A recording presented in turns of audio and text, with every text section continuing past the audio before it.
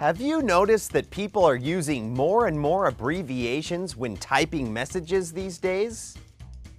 I like to use abbreviations because it saves time. Here are some of my favorite abbreviations ASAP, as soon as possible หรือเร็วที่สุดเท่าที่จะเป็นไปได้ BRB Be right back หรือเดี๋ยวมาอีกแป๊บหนึ่ง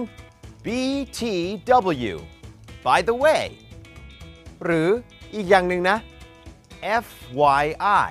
For your information หรือข้อมูลเพื่อให้คุณทราบ เช่น FYI your ex-girlfriend is here ข้อมูลเพื่อให้คุณทราบว่าแฟนเก่าอยู่ที่นี่ IMO in my opinion หรือในความคิดเห็นของฉัน JK just kidding หรือล้อเล่น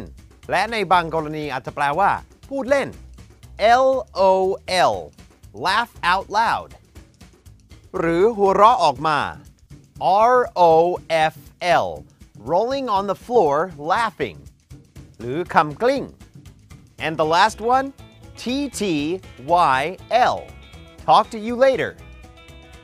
ตัวย่อสุดท้ายมีความหมายว่า ไว้คุยกันทีหลัง หวังว่าตัวย่อเหล่านี้จะเป็นประโยชน์ให้กับคุณเวลาที่คุณคุยกับเพื่อนชาวต่างชาตินี่ครับ แล้วอย่าลืมที่จะเอาไปใช้ด้วยนี่ครับ พักกันครู่เดียวครับ ช่วงหน้า ask ข้อแรกก่อนค่ะ Adam คุณมาร์คอยากให้พูดถึง